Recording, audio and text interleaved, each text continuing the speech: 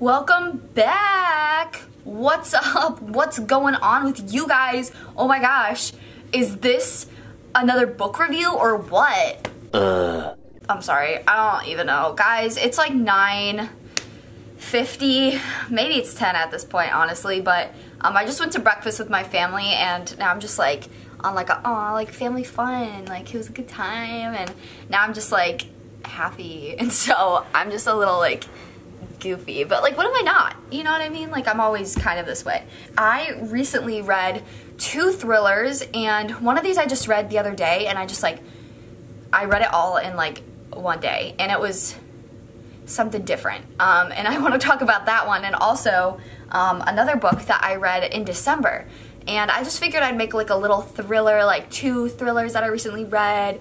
Um, because thrillers, if you guys didn't know, that's my absolute favorite genre. Um, nothing's too scary for me when it comes to like books and stuff like that, like horror books and things like that. Like I love it. So if you guys have any suggestions, please let me know because I just like love thrillers and I just like and horror and mystery and suspense and all that stuff. Like it's literally my favorite thing in the whole entire universe. And so I could go on and talk about it forever. But instead, I am going to tell you guys about these books that I just read. The first one that I'm going to talk to you guys about, because it was a little bit ago and I kind of need a refresher, I'm going to read the back of the books as well. Um, but this one is 14 Ways to Die by Vincent Ralph. Um, I'm going to read the back of the book. My sister actually bought this book from Target. Or no, no, no, lies. She bought it from Barnes & Nobles when I was buying some classics, I think, for class and she was like, "This looks good," and I think she read like the first like five pages, and then she just just like, eh, "I'll read it soon." she's not like that much of a reader, so. Um, but I just told her I was like, "Yeah, you should definitely read it." Um, I love, I love me a good plot twist. I'm not gonna lie though, my favorite thriller that I've still read ever is The Last Time I Lied by Riley Sager.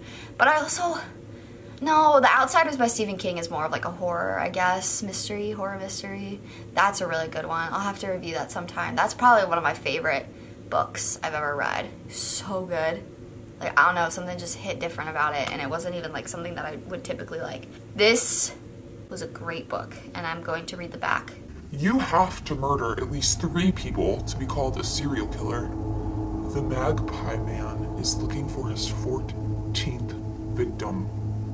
When Jess was seven, her mother was murdered by the Magpie Man. She was the first of his victims, but not the last. Ten years later, the killer is still at large, and Jess applies to appear on an internet reality show in which she filmed once a week for a whole day. All her social media, every text, and all personal interaction will be seen by viewers. She knows this is her chance to remind the public of what she's lost and to finally find the vital clue that will lead her to her mother's killer. When the show starts airing, Jess becomes public property, and her life is an open book just waiting to be read. Then the anonymous text messages start, and Jess begins to realize that the Magpie Man is watching her every move. Told in short, intense chapters, Jess's story is about risking everything to uncover a killer before he can strike again, even if she might be his next victim if that synopsis doesn't like sell you on the book, then I don't know like what's wrong with you. Like if you don't like thrillers, okay, but if you do and you don't read that, like what? Like my sister picked a good one, okay? My sister picked this out. I didn't even pick this out. She just found it and I was like, "Oh yeah, like I'll just read it like for fun over uh, winter break." And I did, and I read it in a day because they are short, intense chapters. There's like how many chapters in this book? 144 uh, chapters. First off, I'm gonna start with like one thing like that I just like about the book that just like didn't sit right with me is the name of the killer is Magpie Man. I don't know. Like I know like that's like like I get like why he's called that and you'll like kind of read the book and figure that out, but it just doesn't sound scary and it just kind of was like the magpie man. Like all i could think of was like my little bunny because my bunny's a magpie. And like all i could think about was like the bunny killer. Like it just didn't sit right with me.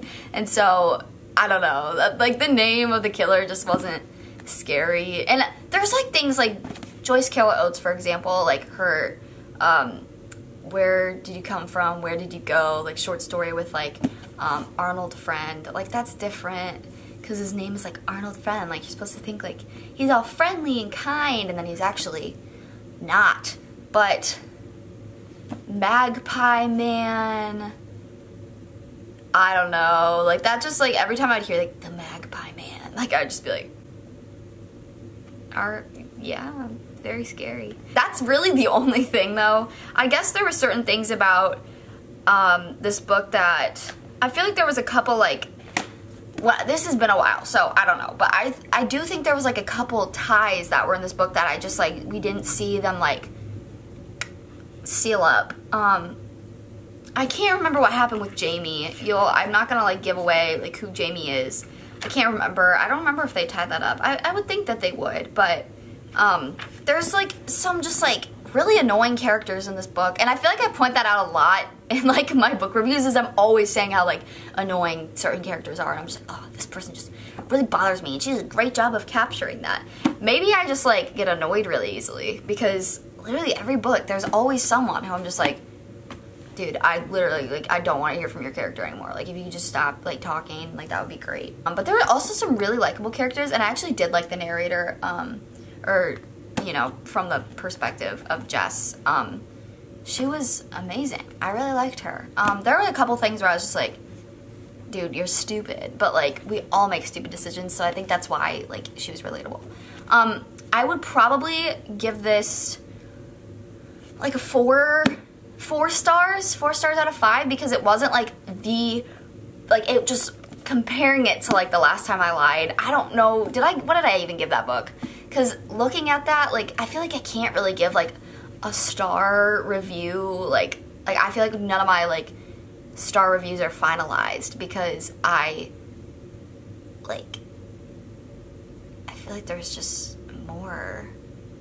Like, I feel like I just needed to, like, figure, like, I need to, like, read other books and then go back and, like, rate. But initial impression would probably be, like, a four star because just other thrillers I've read just, like, really outshined um, this one, but not to say that this this was definitely not a two star, one star thriller. Um, this is good. Like this is like solid. Like if you want to get into reading and you like thrilly, like and you like thrilly. If you want to get into reading and you like like oh my gosh, can I speak English, please? If you want to get into reading and you like scary thriller, suspense, mystery, you get punched in the gut. Like literally pick this book up. Uh, I don't know where, just look around to try to find it. It's pretty good. Um, so just try to, if you're like me and you think Magpie is just kind of like, like cheesy and you're just like really like the Magpie man, like it just kind of like turns you off a little bit from like the scariness. Just try to overlook it. I did and I really enjoyed it. So that's my first book. Second one. I actually bought this from the store literally just because of the title. If you guys don't know, I'm like, if you're like new here, whatever, I'm really close with my cousins and we are like best friends and inseparable basically um, ever since like 2016. So 2017, 2016. That is not important. But I literally just bought it because of the title. I didn't look at the author. I didn't really even read the description until after it was in my like cart and I was walking around on Target. Um, I actually was at the store to buy um, the Atlas 6 um, because I really wanted to read it because I've never read like Dark Academia, which I'm reading right now. It's back there on, see the black book? That's the Atlas 6. I'm reading it um, currently. But I wanted to read this one first. I didn't see the author. Okay, before anyone like yells at me or is like, what is wrong with you? Like, I would just, people have preferences, and honestly, I'm not the biggest Karen McManus fan. As you you guys probably know what the book is now. It's called The Cousins by Karen um, and McManus. I'm not trying to say she's a bad author whatsoever because I think she is talented, absolutely. But her style and choices in her writing are not I don't completely resonate with and I just I don't know something I don't I can't really figure out what it is but it's just not my favorite like I don't feel like super hooked. A lot of people love her writing so that's not a diss to her whatsoever. I'm sure she's like I know she's loved by so many people but I don't know something with her just never hit right. Um, I did read One of Us is Lying and that's where I was I, I just kind of realized I was like eh everyone was kind of hyping it up. I don't know, something about it. Just I was not a fan. Like it was it was okay. Um, I think something that's a little confusing is the multiple points of view. Um, she writes like chapters from a different point of view from each character, which I love. Like personally hearing points of view, but it's like two is kind of like the limit because I start to get people's like people mixed up, and then I start to like forget who said this, and then you end a chapter with like a cliffhanger with this person, but then you have to go through like four more chapters just to get back to hear what that person was saying. And it's like every time with someone, and you are like, wait, what happened with them? And then you have to go back and like figure it out. I don't know. Like the way she write it, like writes it, the storyline flows, but it's just, it's a little, it's a little like challenging to try to remember everything. So I think that's one of the reasons why um, her writing is not my favorite. There's some style choices too. I just can't figure it out. Um, but I know a lot of people love her. I feel like so like weird. Like I've never like been like, oh, this author. Like for some reason, just no. Like, however, I have to say, I feel like maybe I just have low expectations because I love thrillers so much and just like anything that's just like, oh, like that was a surprise is pretty cool. and so I will say this book was actually it was pretty good. Um, I'd probably rate it like a 3.5 star, um, but not because of like the plot. Um, I'd probably rate it that just because of the points of view and also there was some like weird things like there's a guy named Thomas. I'm not gonna like say any details, but like the guy named Thomas in this book, like was that really necessary? For the story. Like that just felt like really random and weird. And then I really liked Aubrey. Aubrey was such a likable character, and she didn't get the ending she deserved at all. I think. I think she deserved a lot better, and she kind of got the short end of the stick. And then we see the other two, how they ended, and I was like, "What?" I'm like, "What about Aubrey? Like you guys?" Okay, like it just and I'm not giving details away. I just personally, maybe you'll be like, oh, she had a great ending. I don't know what you're talking about. Maybe you'll disagree with me, but I was just kind of like, I was left kind of like, oh, that's all for her? Like, that's sucky. Um, and so that kind of sucked. I don't know. There's certain things in like the plot that just, I wish there was more. I guess like I like needed more. Um, but I'm gonna read the back of it to you guys, or the little synopsis. Millie, Aubrey, and Jonah Story are cousins, but they barely know each other, and they've never even met their grandmother. Rich and reclusive, she disinherited their parents before they were born. So, when they each receive a letter inviting them to work at her island resort for the summer, they're surprised and curious. Their parents are unwavering on one point not going is not an option. This could be their chance to get back into grandmother's good graces. But when the cousins arrive on the island, it's immediately clear that she has different plans for them. And the longer they stay, the more they realize how mysterious and dark their family past is. The entire Story family has secrets. Whatever pulled them apart years ago isn't over, and this summer, the cousins will learn everything if they can survive the season. So that is the cousins. Um, I will say um, the the way like timing of this book and everything was pretty good. Um, there wasn't like mark missed on timing. I felt like it flowed well. Um, I was able to figure out a lot of stuff like pretty fast, and I guess that kind of just like towards the end, I was like, oh man, like I already figured it out, so it like wasn't a surprise. Like I was like, dang, like I wasn't like, whoa, I didn't see that coming. Like I was like oh, okay, like I know what's gonna happen. And then like 50 pages later, it's like, dun dun dun. I'm just like, well, I already knew that actually, so I don't know. Let me stop like saying my critic view, and let me say some things I really liked about this book. The characters were honestly pretty great. Once in a while, like the the way that they started off, I was like, okay, like they're all they all kind of sound the same except for Aubrey. I was like Millie, Jonah, um, even some of the parents. I was like they kind of all sound like reserved and snobby, and they don't know how to communicate.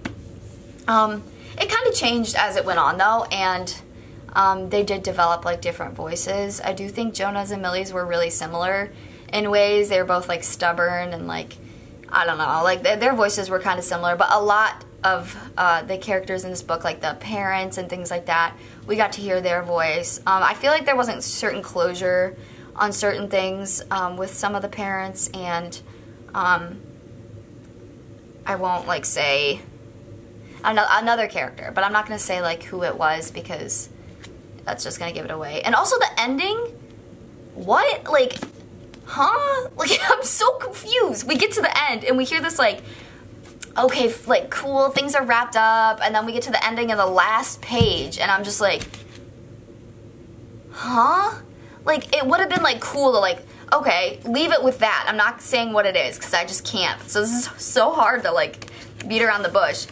But she leaves something at the end of the book, and it's like word of advice, and then there's like a word of advice, and I'm like, so is there like a part two? Like, what? Like, what? Okay. Like, confused. Like, I'm lost.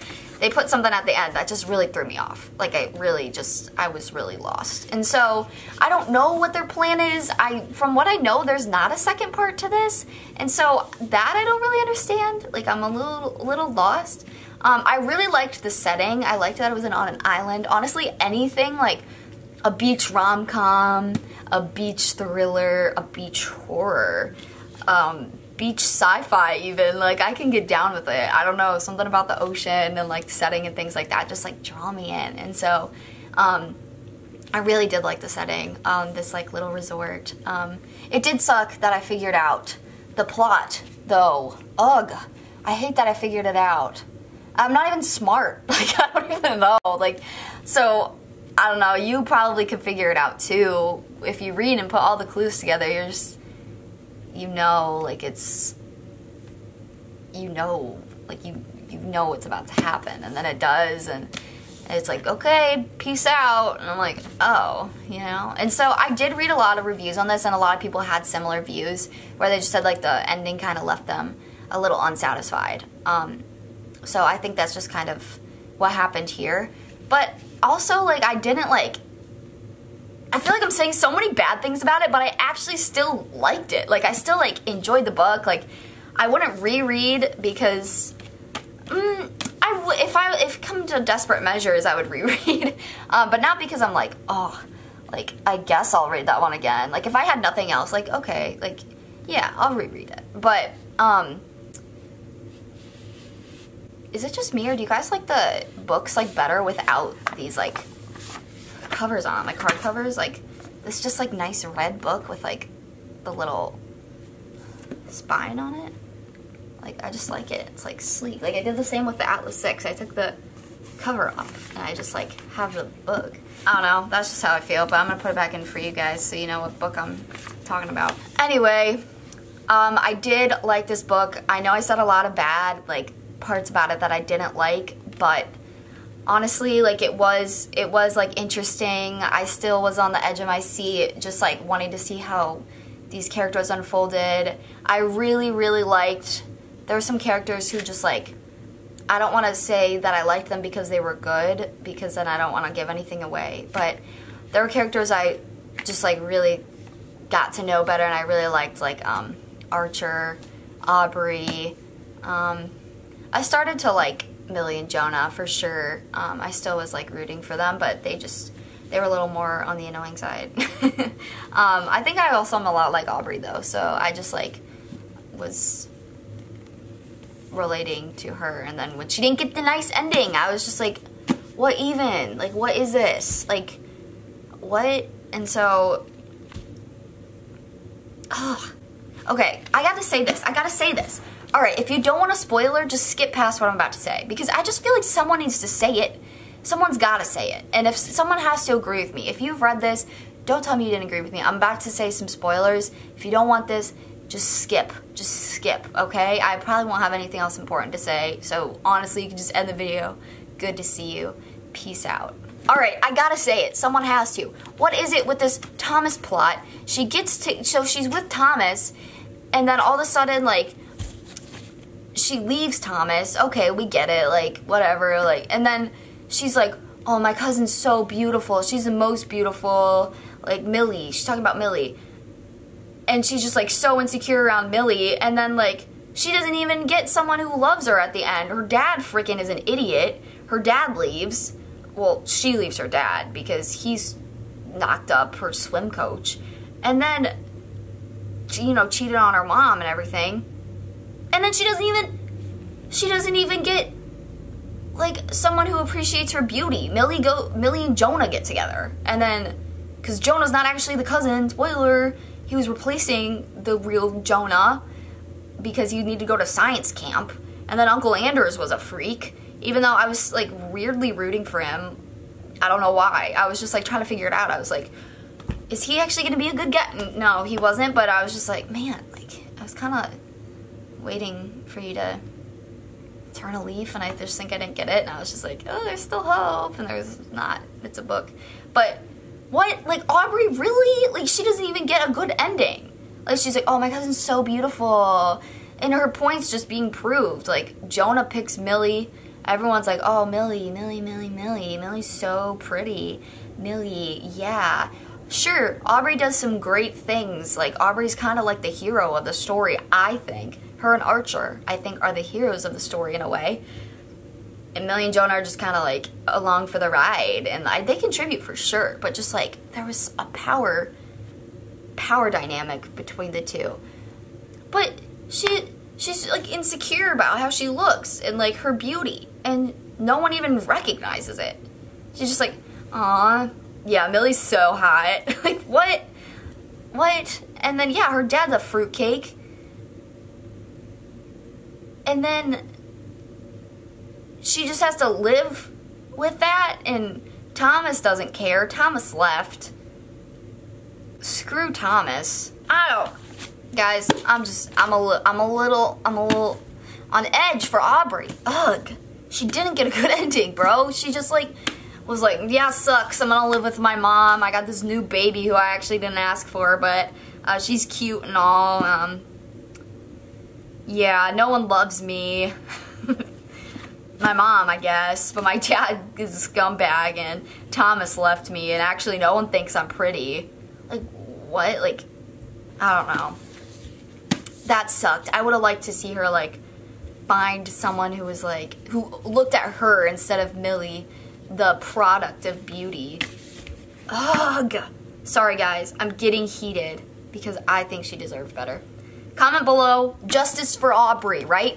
Justice for mother frickin' Aubrey. You guys thought I was gonna swear? I don't swear. Check yourself. Yep, now I'm gonna go read the Atlas 6. I gotta get, I gotta get this Aubrey dynamic out of my head. Why the freak would you not give her a good ending, Karen? What is wrong with you? Sorry.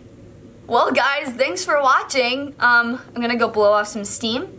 Um, I will see you guys soon for sure. It's spring break, so I would like to film another video or two while I'm here. Um, possibly another book reviews, I don't know. Um, we'll see. Maybe something else fun. But I love you guys, and I will see you soon. Peace out.